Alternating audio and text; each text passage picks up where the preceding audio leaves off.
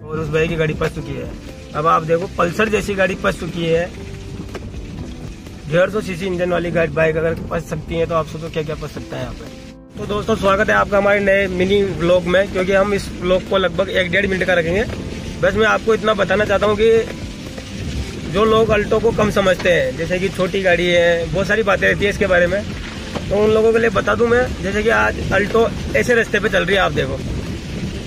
कहीं पे लग रहा है आपको यहाँ पे कोई रास्ता दिख रहा है? नहीं, बिल्कुल बिल्कुल ऑफ़ रोडिंग ट्रैक्स जैसे कि आप देख सकते हो, बिल्कुल ही इतना बेकार रोड पड़ा हुआ है इस पर भी आराम से निकल रहे हैं हम।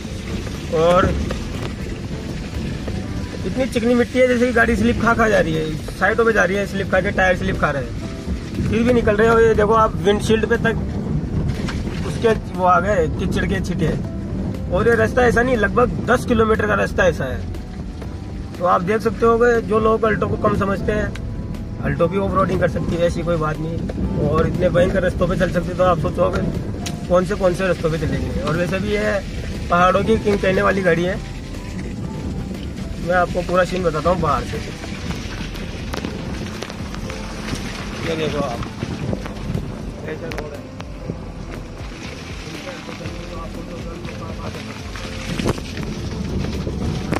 तो ऐसे रोड पे चलाते हैं हम गाड़ी को।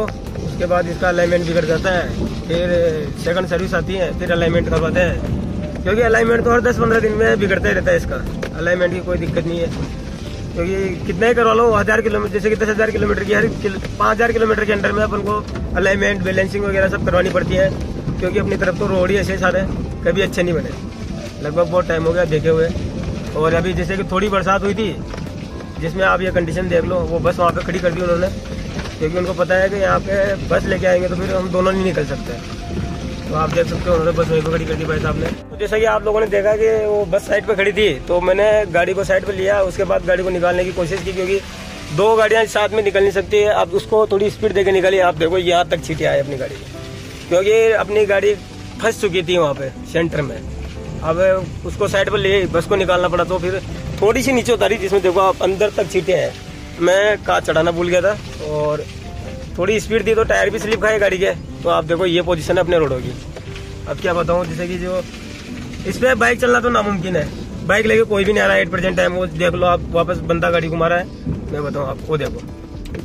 वो आदमी वापस गाड़ी घुमा रहा है उसकी। क्योंकि गाड़ी निकलेगी नहीं, वो फंस चुके हैं दो तीन बंदे। अब क्या पता आगे अपन भी निकल पाए या नहीं। और अगर नहीं निकले तो अपन गाड़ी घुमा नहीं सकते यहाँ से, क्योंकि साइडों पे जो साइड है ना, ये कच्ची साइड है। क्योंकि रोड कंस्ट्रक्शन का काम चल रहा है। पहले इन्होंने मिट्टी डाली तो इस पर गिट्टी थी नहीं तो गाड़ी फंसने का फुल चांस और ये दोनों भाई लोग तो वापस घूम चुके हैं अपनी गाड़ियाँ लेके, और उस भाई की गाड़ी फंस चुकी है। अब आप देखो, पल्सर जैसी गाड़ी फंस चुकी है। डेढ़ सौ सीसी इंजन वाली गाड़ी बाइक अगर फंस सकती है तो आप सोचो क्या क्या फंस सकता है यहाँ पे? देख सकते हो, वो भाई साहब कैसे चल रहे हैं। अब जैसे कि उनके गिरने का पूरा चांस है। उनको पता है कि गिर सकते हैं तो उनका एक पाँव नीचे है। ऐसे रोडों की हालत है अपनी। अब हम क्या बताएँ दोस्तों आप लोगों को? ऐसे रोडों पे भी अपन को गाड़ी चलानी पड़ रही है और वो सामने से भी एक बंदा आ रहा है। उसको पता नहीं है कि वापस गाड़ी घुमानी पड़ेगी उनको। वो लेके आ रहे हैं, वापस घूमनी पड़ेगी उनको। जैसे कि रिटर्न तो जाना ही पड़ेगा उनको, वरना इस रोड पर तो नहीं निकल सकते लोग। तो आप देख सकते हो ये हालत है। उस रोड से निकल के आने के बाद आप देखिए गाड़ी की ये हालत है। और विंडशील्ड साफ़ कर रहा हूँ मैं अभी, पानी की बोतल लेकर।